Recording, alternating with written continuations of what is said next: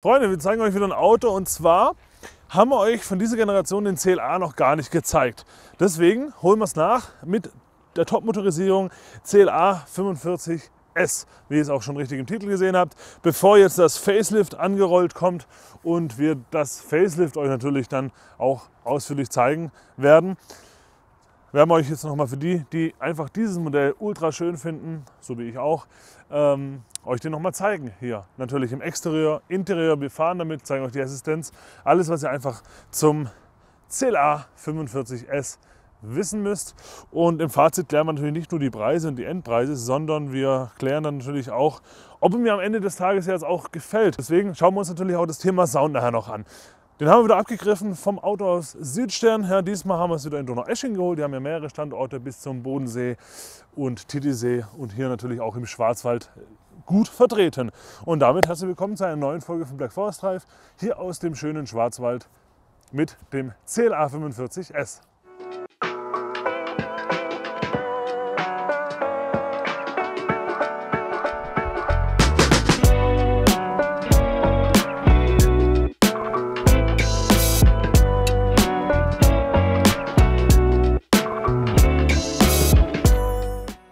Keine Videos mehr von uns verpassen wollt, dürft ihr uns gerne abonnieren. Das freut uns nicht nur, sondern dann wachsen wir auch und können euch dadurch natürlich auch immer mehr Autos zeigen und das freut uns noch mehr.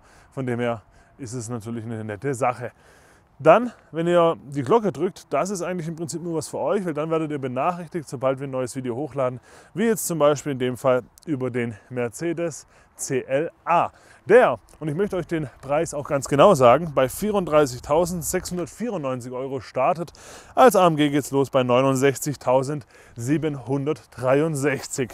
Endpreise und unseren Preis wie immer im Fazit. Wir starten mit dem Design. Wir haben natürlich so ein, zwei Erhöhungen, Domstreben auf der Motorhaube, die das noch ein bisschen muskulöser wirken lassen. Wie man es natürlich jetzt hier kennt, schwarzes Mercedes-Benz-Logo hier oben drauf und dann haben wir natürlich den Panamerika-Grill. Sieht einfach schön aus, sieht aggressiv aus, AMG-Badge und Mercedes-Stern natürlich. Darunter findet auch die Sensorik statt der ganzen Assistenten. Und über dem Mercedes-Stern findet man noch die Frontkamera für die insgesamt 360-Grad-Kamera. Dann haben wir hier große Öffnungen. Auf der linken Seite ist die tatsächlich auch offen und da kommt Luft rein. Rechts ist das zu, nur damit ihr das auch wisst. Dann gibt es das Silber-Chrom-Paket für den CLA 45 AMG. Dann ist natürlich, wie der Name schon sagt, hier alles ein bisschen mit Chrom und Silber und nichts in sportlicher Natur. Aber es gäbe auch das Night-Paket und das haben wir hier. Und dann ist alles natürlich in schwarzer also schwarz angehaucht, ja, die Schriftzüge, hier die Spiegel und so weiter, ist halt alles schwarz und quasi kein Chrom mehr. Und dann gibt es noch zwei weitere Pakete, Aerodynamik-Paket und Aerodynamik-Paket Plus. Wir haben das Aerodynamik-Paket, das würde ich auch nehmen. Aerodynamik Plus zeigt sich eher am Heck, werden wir euch aber natürlich genau explizit erklären, was das mit sich bringt.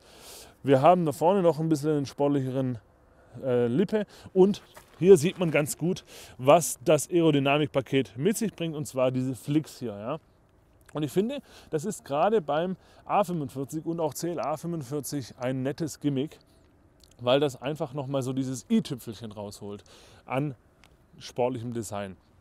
Der CLA, versteht mich nicht falsch, als 45er sieht natürlich auch ohne die Flicks sehr sportlich aus. Aber diese Flicks die unterstreichen das nochmal und das ist eben einfach die Endnote. Also dieses i-Tüpfelchen, wenn man wirklich komplett Wert auf Design legt.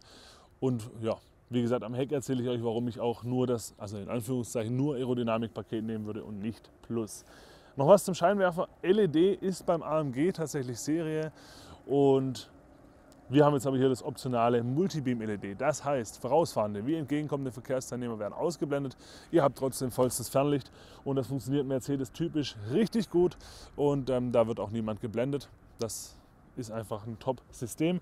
Ist noch nicht das Digital Light, wo also auch quasi was auf die Straße projizieren können, wie wir es jetzt neuerdings von S- und C-Klasse kennen. Aber ich finde, das System ist genauso gut von der Fernlichtstrategie, nur halt eben, dass er nichts auf die Straße projizieren kann. Aber das möchten ja sowieso viele nicht. Dann noch der letzte Punkt, wo wir ein bisschen mit euch ins Gespräch kommen, finde ich auch ein sehr wichtiger Punkt. Schreibt doch gerne schon mal drunter, was ihr vom Design einfach haltet, vom CLA 45S. Dann stehen wir an der Seite des CLA 45 AMG Und da gibt es natürlich auch ein paar Dinge zu erzählen.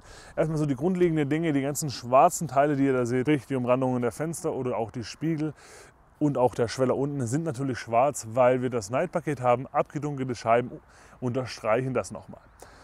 Für 1219 Euro gehört euch dann kein Wagenfarbendach, sondern ein Wagenfarbendach mit Loch. Ich spreche vom Panoramaglasdach, das sich auch öffnen lässt und das würde ich, wie ihr mich kennt, natürlich auch immer dazu buchen.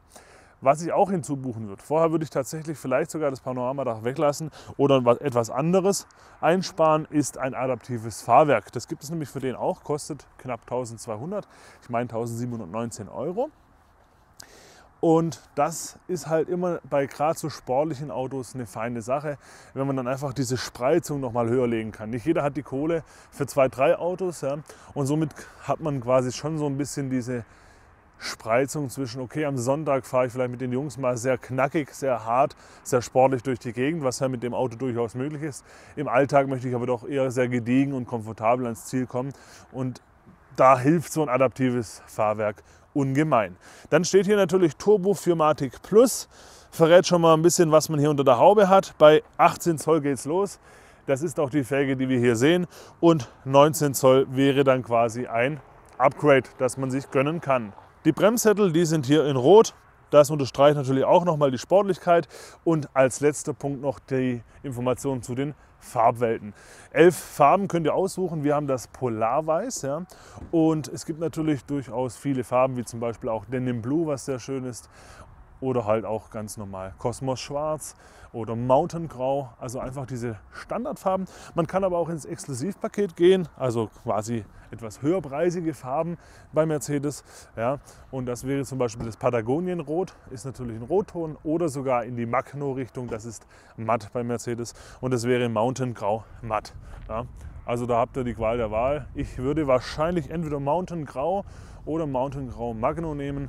So, wir sehen hinten, dass wir auch hier natürlich abgedunkelte Scheiben haben.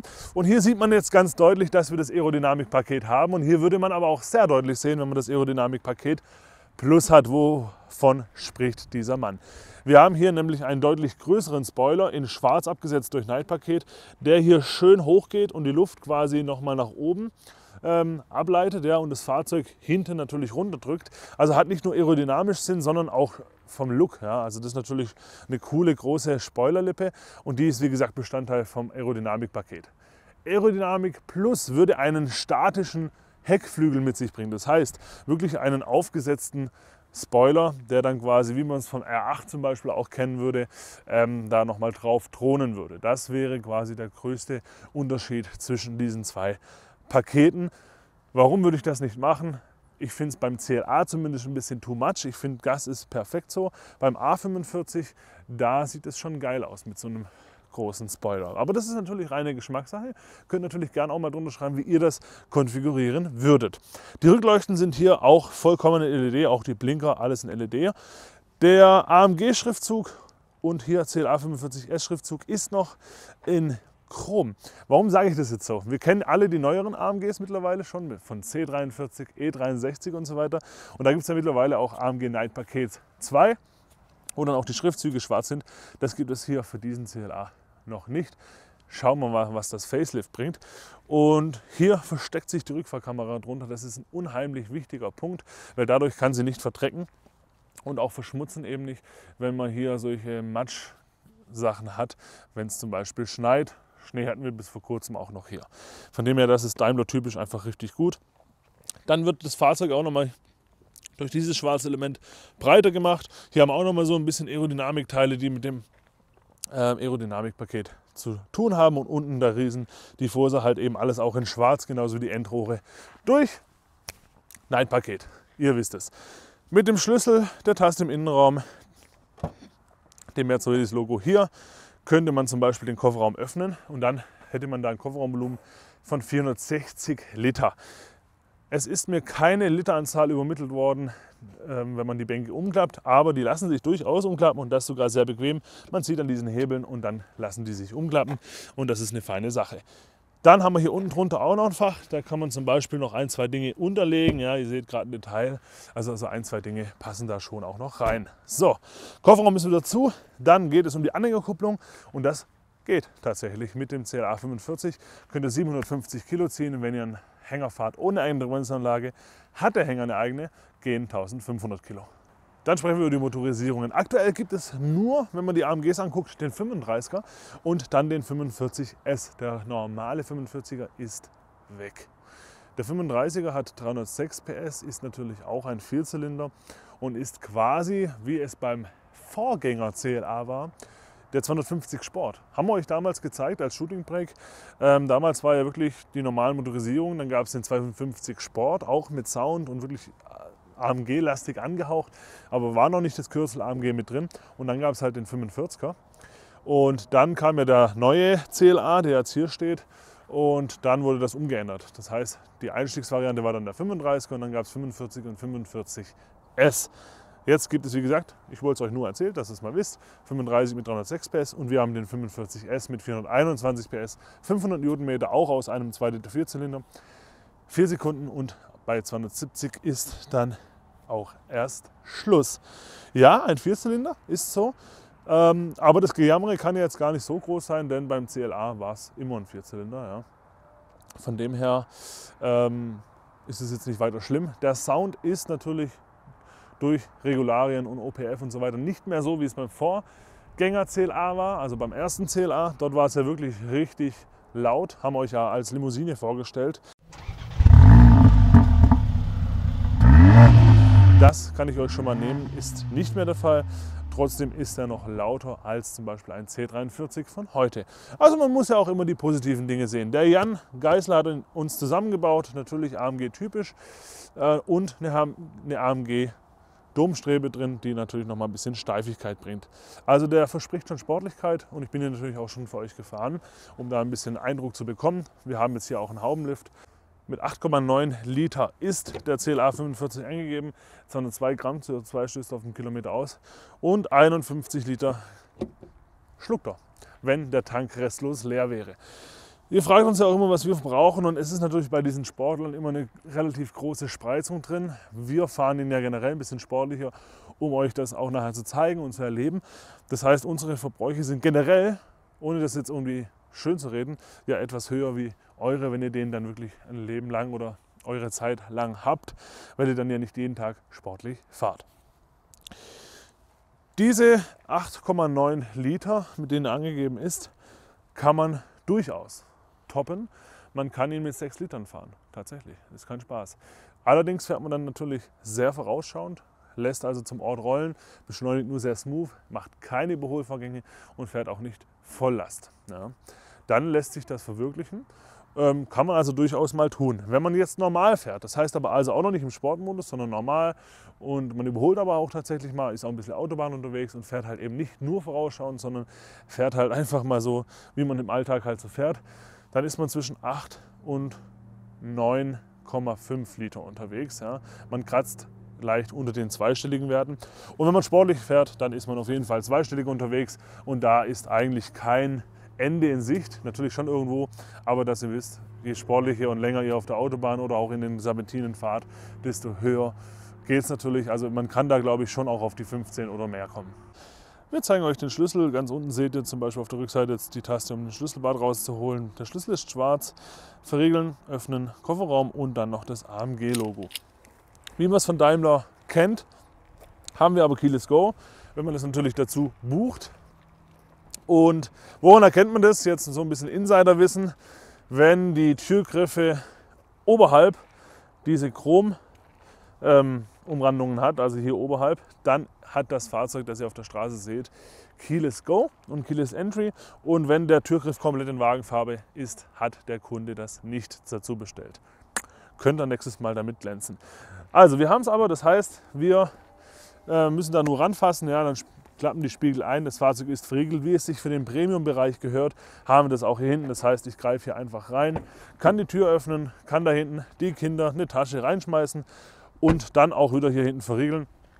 Ich gehe aber natürlich nach vorne und zeige euch den Innenraum.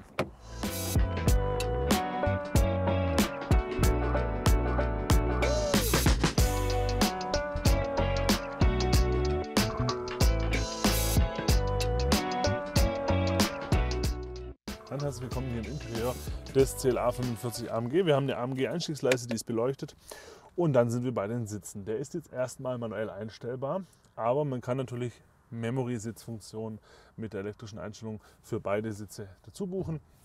Und dann wäre die Einstellung hier an der Tür, kennen wir vom Daimler. Wir haben jetzt hier den Mikrofaser-Ledersitz mit gelben Ziernähten. Dann gäbe es aber auch noch einen grau-schwarzen Sitz mit ähm, gelben Ziernähten. Es gibt auch noch einen schwarzen Sitz mit roten Ziernähten. Es gibt noch einen braunen Sitz und es gäbe auch noch einen roten Sitz. Also je nach Wunsch kann man sich da sein Leder aussuchen. Komplett Leder gäbe es natürlich auch. Wir haben jetzt aber wie gesagt diesen Mix. Mit einer integrierten Kopfstütze, ja, sieht natürlich sportlich aus, ist für größere Personen aber durchaus manchmal ein Problem, wenn man hier eben so eine integrierte Kopfstütze hat. Bequem ist er, Seitenhalt bietet er auch und von dem her ist das ein guter Sitz. Genau. Dann noch der Punkt zur Tür. Wir haben jetzt hier natürlich auch weiche Materialien. Gelbe Ziernähte werden hier aufgegriffen. Hier haben wir jetzt zum Beispiel das Dekor Mikrofaser. Ja. Da gäbe es aber weitaus mehr zum Beispiel Walnussoptik, Alu-Optik, so eine AMG-Optik und so weiter. Das kann man hier alles dazu buchen. Was es für den CLA tatsächlich und für den A45 nicht gibt, ist Carbon-Look. Aber weitaus ähm, andere Dinge, wie ich jetzt eben aufgezählt habe. Da gibt's, also dieses Alu sieht zum Beispiel für mich am schönsten aus. Wobei auch das Mikrofaser gut zu einem sportlichen Auto passt und fühlt sich hier rundum weich an. Erst weiter unten ist dann natürlich Hartkunststoff. Wir haben die optionale Bohrmaster-Anlage, die ist schon wirklich gut vom Klang. Ist natürlich noch nicht so gut wie jetzt die Bohrmaster in den höheren Bereichen, also wie E-Klasse oder so mit dem 3D, die dann halt auch wirklich über 5000 Euro extra kostet. Ist ja auch klar. Trotzdem würde ich sie dazu buchen, wenn ich euch wäre, wenn ihr Wert auf Musik legt, weil es einfach vom Klang her nochmal deutlich mehr zu bieten hat als die Serienanlage. Ich komme zu euch rein, um euch natürlich den Innenraum zu zeigen. So, und da gibt es natürlich einiges erstmal zu erzählen. Wir sprechen über die Materialien hier im Innenraum. Hier ist das Dashboard auch schön weich mit einer gelben Ziernaht. Head-Up-Display zeigen wir euch später. Dann haben wir hier natürlich auch die Ziernaht. Und dann ist hier eben auch wieder das Dekor äh, in Mikrofaser. Das wäre natürlich dann auch hier Alu- oder Walnussoptik, wenn man es denn gebucht hätte. Hier oben ist noch Ambientebeleuchtung versehen. Die ist auch in den Lüftungsdüsen. Zeige ich euch dann zu einem späteren Zeitpunkt mit einem Bild oder sowas. Und hier ist dann halt alles härter weiter unten. Das Lenkrad ist auf Wunsch, so wie es jetzt auch bei uns der Fall ist, komplett in Mikrofaser. Würde aber auch komplett in Leder gehen, also das ist Serie. Dann eben auch Leder hier und nur diese Seitenteile in äh, Mikrofaser oder halt wie gesagt dann alles mit einer 12 Uhr Markierung passend zur Ziernaht. Und ähm, ich finde ja persönlich, das sage ich immer wieder, ich finde jetzt die neuen Mercedes-Lenkräder äh, nicht hässlich, möchte nicht falsch verstehen, aber das war für mich das schönste AMG-Lenkrad überhaupt.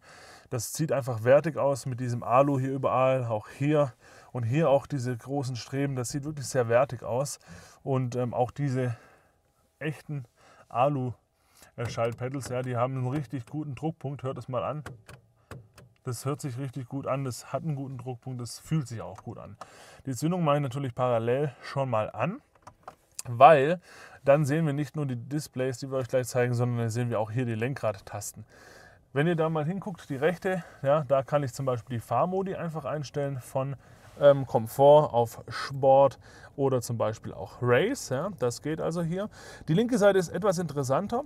Die habe ich mir jetzt so konfiguriert, dass, wir, äh, dass ich hier links einfach schnell die Start-Stopp ausschalten kann und hier rechts dann den Klang.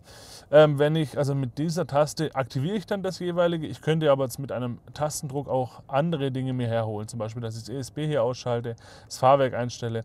Aber ich habe mir eben das hergeholt und hier oben kann man eben das gleiche nochmal tun.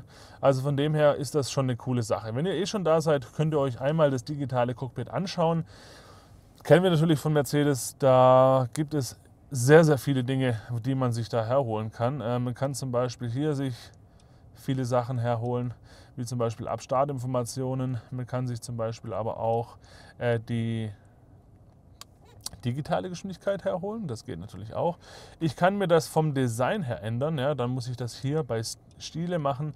Dann kann ich das zum Beispiel auch klassisch, das wäre dann blau, herholen. Oder ich kann dann zum Beispiel auch, das ist ein bisschen ähm, hier in Supersport gehen, ja, dann würde es quasi so aussehen oder halt dann noch dezent. Jetzt sind wir eh schon dabei, zeige ich es euch auch einmal. dezent würde so aussehen. Da wäre noch rechts eine Uhrzeit mit drin. Äh, ist jetzt nicht mein Fall tatsächlich. Ich würde tatsächlich, so wie ich es auch eingestellt hatte, wie es auch den Namen verträgt, sportlich nehmen. Ansonsten, ähm, klar, kann ich hier, wenn ich jetzt nochmal ins Menü zurückgehe, auch das Head-Up-Display hier rechts ein, äh, hier oben einstellen, eine Performance-Anzeige, Navigation mir anzeigen lassen, die Assistenz einstellen. Ich kann die Medien und alles hier herholen und den Service kann ich auch zu jeder Zeit ähm, erblicken. So, das also schon mal dazu. Ansonsten sehe ich natürlich Temperatur, Füllstand der, äh, der Batterie, ich fast gesagt, des Tanks, Uhrzeit und natürlich auch sonstige Dinge, die wichtig sind. Und es ist natürlich ein großes ähm, Display, ja, wo quasi noch rüber geht. Also das Infotainment-System ist mit dem Tacho quasi in einem. Das ist, gefällt mir sehr gut. Ja, das kennen wir natürlich auch schon von Daimler. Und es ist natürlich einfach auch schön untergebracht. Also ich mag das Cockpit sehr. So, dann seht ihr hier das Head-Up-Display, das geht direkt an die Scheibe. Ja. Wir sehen hier natürlich digitale Geschwindigkeitsanzeige, die volle Assistenz und auch die Navigation, jetzt in dem Fall Nordosten. Wenn man die Navigation am Laufen hat, würde man natürlich auch Navigationsanweisungen drin sehen. So, dann noch was zum Infotainment-System rudimentär. Apple CarPlay Android Auto ist nutzbar. Dann zeigen wir euch auch immer noch ähm, einfach zwei, drei Dinge. Einmal die Navigation natürlich von der Kartendarstellung.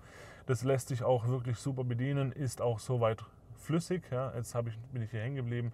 Das System hat keinen Hänger, sondern je nach, immer wenn ich hier oben hinkomme, ja, dann hört es auf. Aber wenn ich jetzt zum Beispiel hier unten bin, ihr seht schon, dann geht das. Kann man auch wieder hier zentrieren, kann es auch von 3D in 2D umschalten. Live-Traffic beinhaltet es auch. Sonst erzählen wir euch immer äh, noch dazu, wie schnell man sich reinarbeiten kann, wenn man von einer anderen Marke käme. Jetzt kommt ihr zum Beispiel von BMW oder von Audi, dann würdet ihr euch hier sehr schnell zurechtfinden. Das ist also kein Problem, sehr einfach aufgebaut. Dann könnten wir uns hier noch Rennstrecken einpflegen und wie schnell wir da auch sind. Dann haben wir hier noch so Performance-Anzeigen. Also hier ist relativ viel möglich. Apps kann man sich runterladen. Und dann könnte man im Store noch andere Dinge natürlich dazu buchen. Ich zeige euch jetzt aber noch eines, und zwar die Ambindebeleuchtung. Klar, Helligkeit kann man einstellen. Mehrfarbig würde auch gehen oder halt eine von 64 Farben wählbar. Ich habe natürlich, ihr wisst es, blau genommen. Ich weiß nicht, ob es überhaupt zählt, aber hier links eben ist ein bisschen Ambiente-Beleuchtung an den und dann halt eben in den Lüftungsdüsen. Also das sieht schon cool aus. Wie gesagt, sonst kommt noch ein Bild ähm, von mir dazu. Also ist wie gesagt sehr einfach aufgebaut. Dann haben wir hier die drei Lüftungsdüsen mit der Ambiente-Beleuchtung. Weit unten finden wir dann nochmal tatsächlich ein paar richtige Tasten, wo wir die Klima auch einstellen können.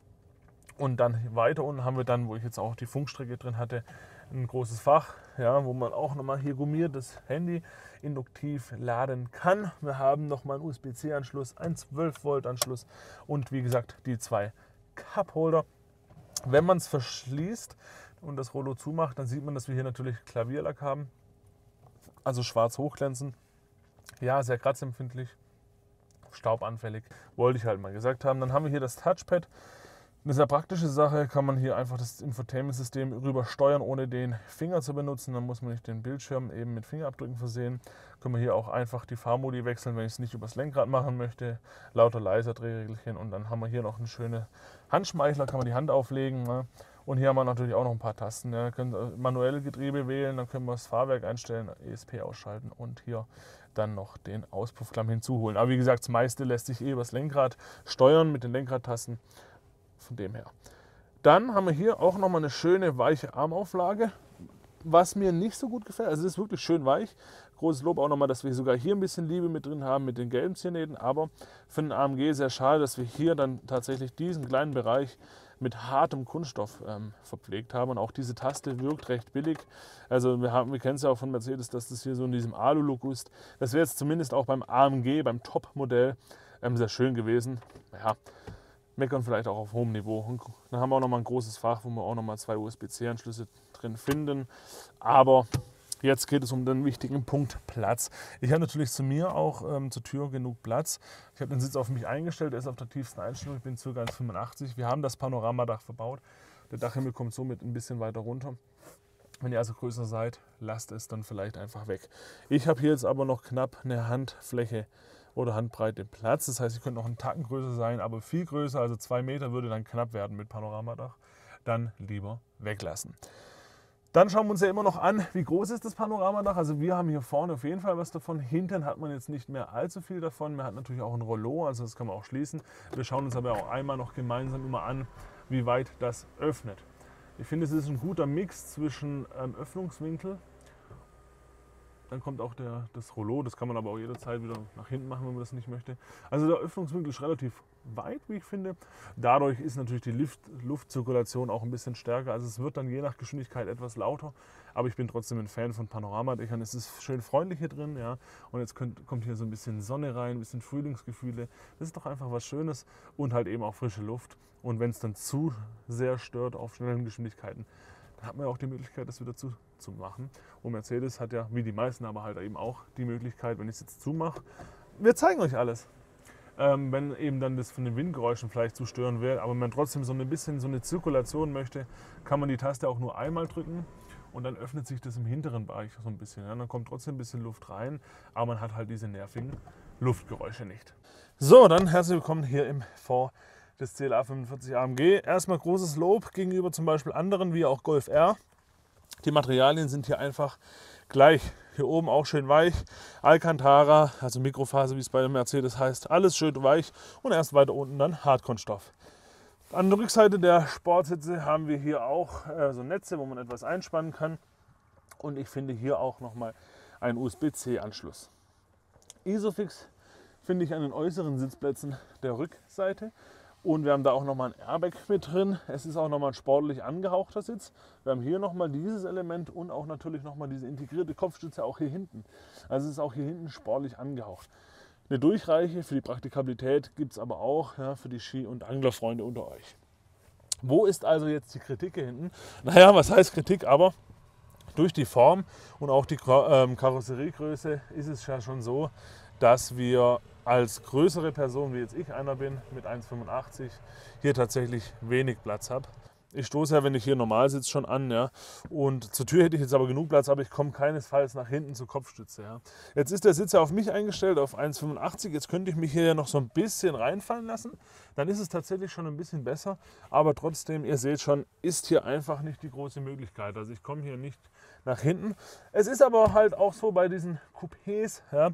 Und von dem her, ich würde es hier jetzt mal aushalten für, ich sage jetzt mal, drei, vier Stunden schon auf jeden Fall. Ja. Aber bequemer ist es natürlich für größere Personen schon vorne. Aber wie oft ist man zu viert mit über 1,85 Personen? Das ist halt auch die andere Frage. Man könnte hier auch zu dritt sitzen.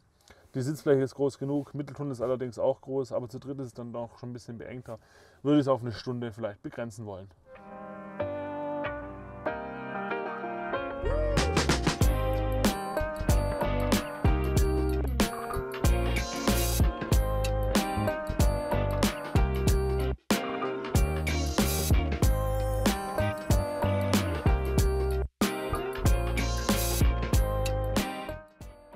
Ja, dann geht es los mit dem Fahreindruck. Aber davor natürlich immer die Rückfahrkamera.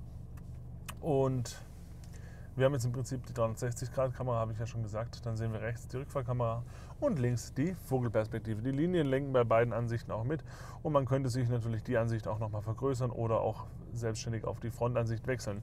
Sobald ich aber in D gehe, kommt automatisch die Frontansicht. Und Mercedes typisch ist das Bild gestochen scharf. Ja? Also somit auch nachts hilfreich und man erkennt auch nachts da was. Ja. Bei vielen, zum Beispiel um nur mal eine Marke zu nennen, Skoda, da ist zum Beispiel die Rückfahrkamera nachts fast unbrauchbar, weil die halt so stark verpixelt ist dann, wenn es dann noch regnet. Und hier ist halt bei Daimler doppelt Vorteil, gestochen scharf und wenn es regnet, ja, ist sie ja trotzdem trocken. Also man sieht dann wirklich alles. So, jetzt fahren wir erstmal hier ganz normal los. Nachher, wenn wir natürlich auch noch auf unseren Serpentinen unterwegs sein, sind, äh, wird es natürlich sportlicher zur Sache gehen und auch 0 auf 100 wird es mal geben. Wenn man jetzt hier normal cruist, da kommt eben dieser Vorteil von adaptivem Fahrwerk ähm, zum Tragen, weil wir sind jetzt hier im Normalmodus. Das Fahrwerk ist damit auch auf Komfort gestellt und man ist hier halt relativ normal unterwegs. Ja.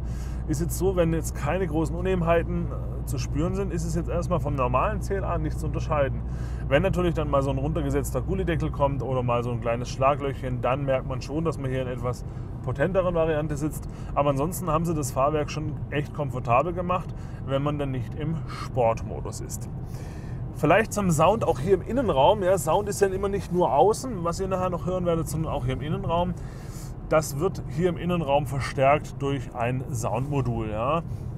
Weil der Vierzylinder von sich aus jetzt nicht den größten Sound hat, wird das innen wie außen verstärkt und natürlich ein bisschen sportlicher ähm, gemacht, als es am Ende ist.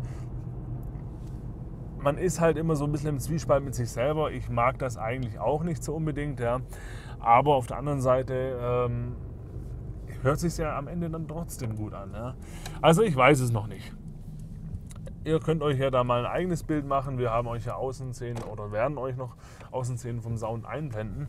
Und von dem her könnt ihr dann selber drunter schreiben, ob das jetzt vom Sound her noch gut ist oder gut ist oder halt eben nicht.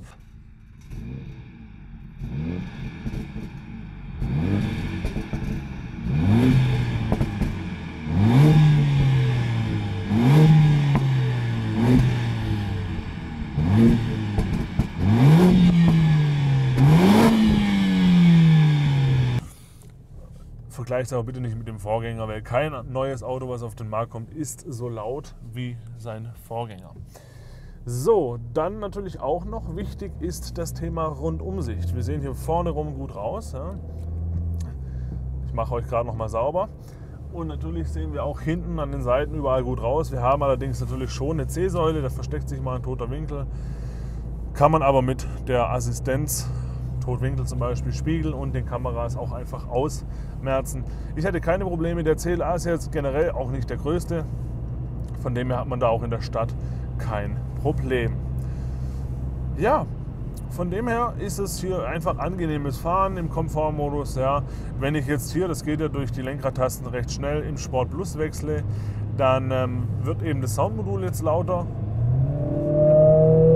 Man hört ihr also hier schon potenteren Sound ja. und auch das Fahrwerk wird deutlich härter und die Lenkung ist deutlich schwerer. Also da kann man, jetzt muss man einfach mehr Kraft aufwenden und das wollen wir auch bei einer sportlichen Fahrweise. Ja. Von dem her. Natürlich gehört es zu unserem klassischen Review dazu, dass wir einfach mal 0 auf 100 machen. Dann geht es aber nochmal um die Assistenz, die auch wichtig ist. Und auch dann gehen wir noch natürlich auf die Serpentinen, um mit euch einmal Spaß zu haben. Und den klassischen Überholvorgang, den simulieren wir natürlich auch nochmal zusammen. Jetzt ist hier die 70er-Bereich vorbei. Dann können wir hier auch mal wirklich 0 auf 100 machen. Jetzt mal hier ohne Launch Control im Sport Plus Modus.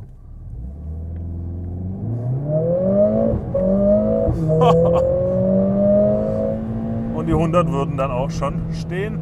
Das geht wirklich schnell. Es fühlt sich mindestens genauso an, wie es auch auf dem Datenblatt steht, mit 4 Sekunden, wenn nicht sogar schneller. Und auch dieses Zwischensportmäßige, also wenn man wirklich mal 70 in einem LKW hinterher fährt, zack, überholt, das geht echt flott.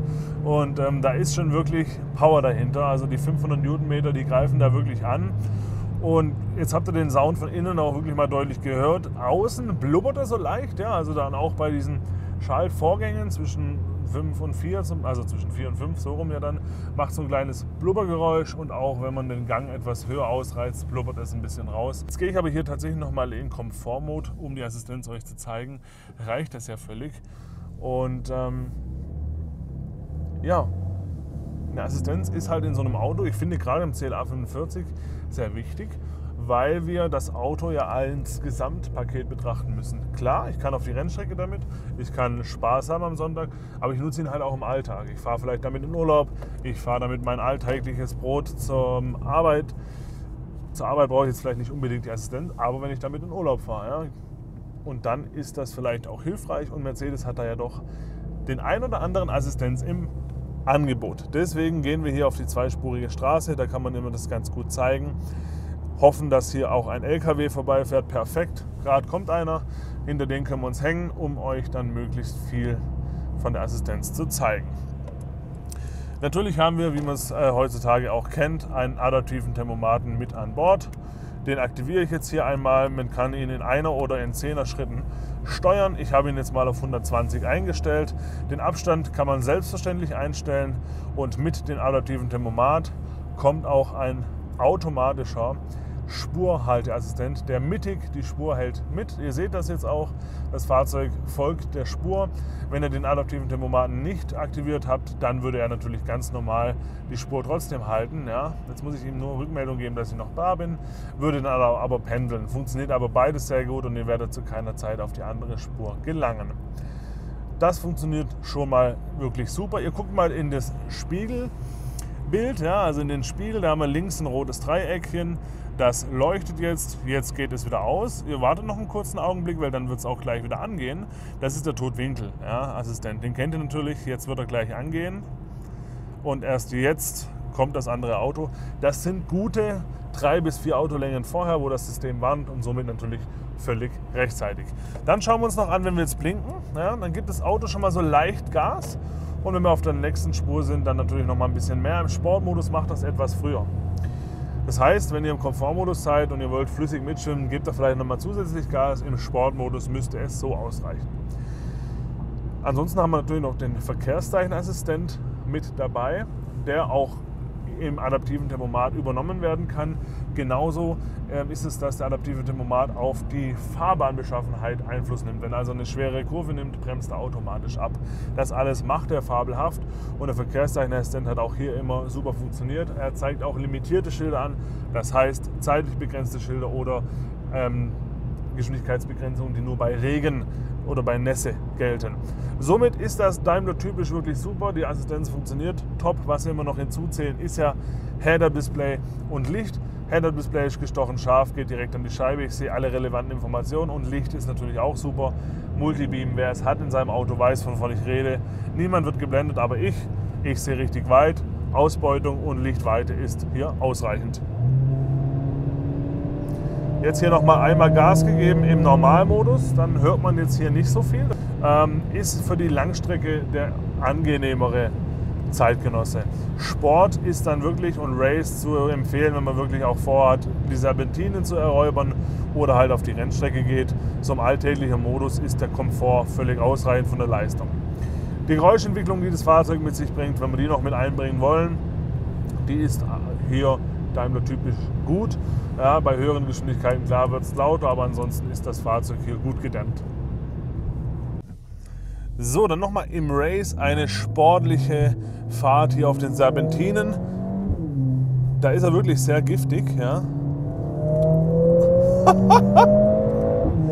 Aber diese Traktion in den Kurven, ja, überhaupt kein Untersteuern oder Übersteuern. Man hat hier wirklich einen richtig geilen Grip, trotz Winterreifen, muss man ja auch mal sagen. Die Bremsen packen gut an und bam, geht es wieder raus. Also es ist wirklich ein richtig geiles Auto. Auch egal wie unterstützt der Sound, der spielt da gut mit, ja, das macht Spaß. Dieses Rausgeblubbere, das unterstützt das Ganze nochmal. Also es ist wirklich geil.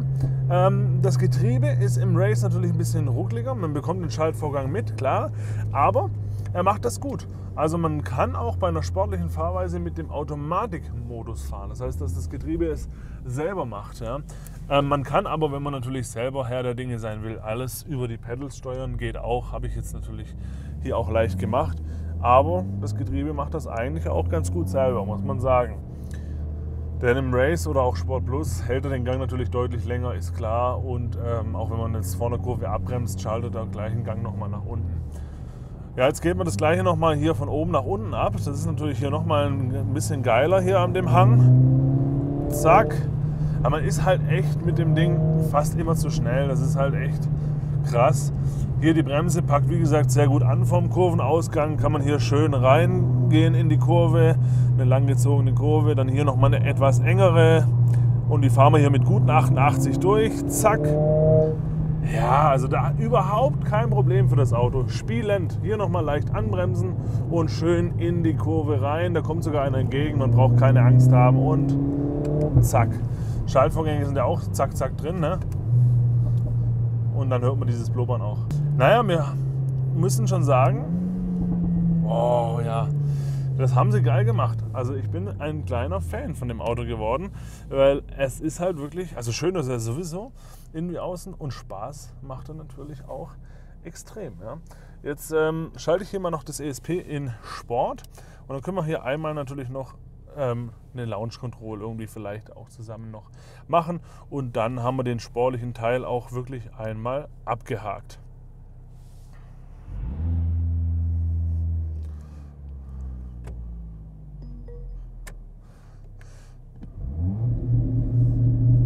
Oh!